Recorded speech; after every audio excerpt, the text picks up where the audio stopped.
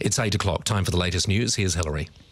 Good morning. Rugby commentator Murray Mexted admits he was surprised to hear Waisake Naholo's name called out in the All Blacks Rugby World Cup squad. It was expected the 24-year-old winger wouldn't be in the team after breaking his legs in a test match, just one leg, in a test match six weeks ago. But Naholo's made a remarkable recovery, and Mexted told the program he's the man for the job. I was delighted to see that though because uh, you know you've got to pick players for their core skill uh, requirements and wingers they need to score tries and without doubt he's been the one that scored all the tries in Super Rugby. He was outstanding. Naholo will sit out until the third World Cup match as he regains his fitness from just the one broken leg. Uh, the New Zealand College of Midwives is launching legal action against the government today to get better pay for its workers. The college believes midwives are being paid less because they're women and is filing a discrimination case under the Bill of Rights Act.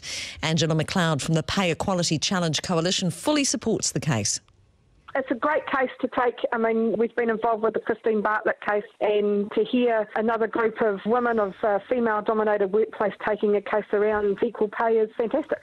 The college says the health minister has refused to meet to discuss the issue. Landcorp's failing net operating profit is.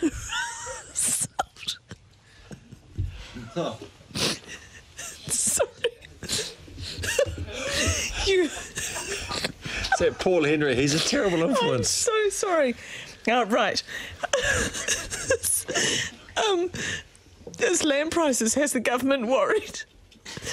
Uh, Landcorp has posted a net operating profit of $4.9 million to the year to June, down 84% on last year's 30 million.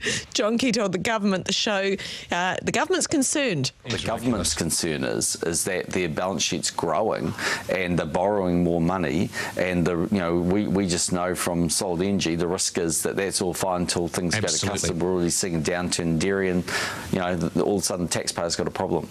Despite the government's worry, the company's chief executive says its result was solid given the current challenges.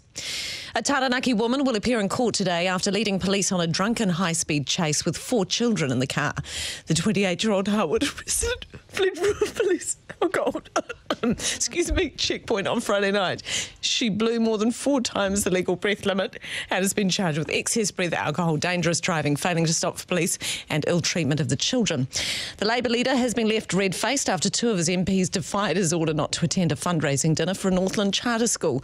Labour's Associate Education spokesman Kelvin Davis and fellow MP Peeni in Whangarei at the weekend. Andrew Little says the party's always been opposed to charter schools. I said, you know, it wouldn't necessarily be a good look. We've had a very strong position on charter schools. There have been some real stuff ups with them. Um, this might not look good. But Little rejects claims that the pair defied him, saying they attended for family reasons. Today's the deadline for corrections to apologise to an inmate who was assaulted while at Mount Eden Prison. He was supposed to be kept in segregation for his own safety, but was twice bashed by other prisoners due to failings by Serco staff. The Ombudsman reprimanded Serco and the Corrections Department for failing to ensure the prisoner's safety and said he deserved an apology. Corrections Minister Sam Lotu-Iiga has made it clear he expects the department to apologise. Wellington's mayor is pushing for Aucklanders to move to the capital.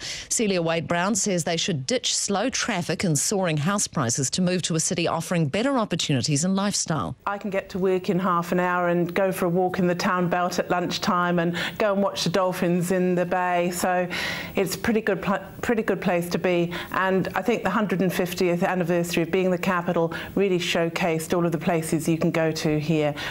The Mayor made the calls in an open letter after a day trip to Auckland. That's the news. It's four past eight.